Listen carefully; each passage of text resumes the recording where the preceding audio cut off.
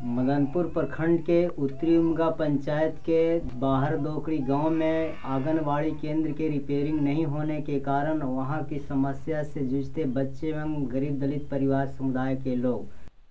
कब से इस समुदाय को में पढ़ा रहे हैं? कितने दिन छः महीना से पढ़ा रहे हैं। जी।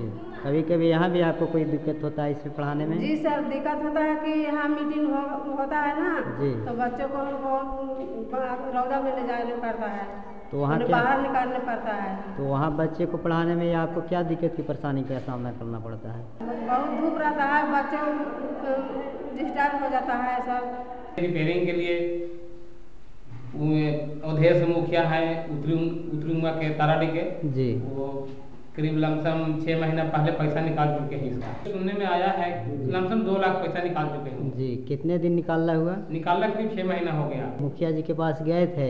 ये सर मुखिया जी मुखिया जी के पास गए तो नहीं थे लेकिन हमारे गाँव में ईट सोलिंग हो रहा था तो उस बार आए थे तो हमको बोले थे कि क्या सर इतना दिन पैसा निकालना आपका हो गया तो काम क्यों नहीं लगा रहे हैं? जी। तो बोले कि ठीक है रास्ता थोड़ा क्लोज हो गया है गाड़ी आने जाने का साधन नहीं है जिसके कारण हम अभी काम नहीं लगा रहे हैं। फ़सल के चलते ब्रेक कर दिए थे।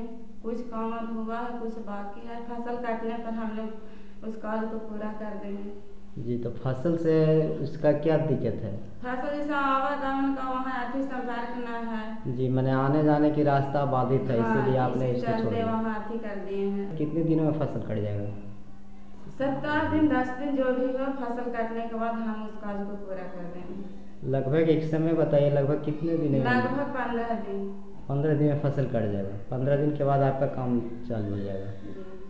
मैं वीडियो देखने वाले से अनुरोध करना चाहता हूँ कि यह वीडियो देख कर करके प्रखंड विकास पदाधिकारी मदनपुर के मोबाइल नंबर चौरानवे इकतीस इक्यासी अस्सी पंचानवे पर फ़ोन कर दबाव बनाएँ ताकि यहाँ की समस्या का निदान हो सके। मैं सुरेंद्र शर्मा वीडियो वॉलंटियर्स गाँव महुआ जिला औरंगाबाद बिहार इंडिया नेट के लिए।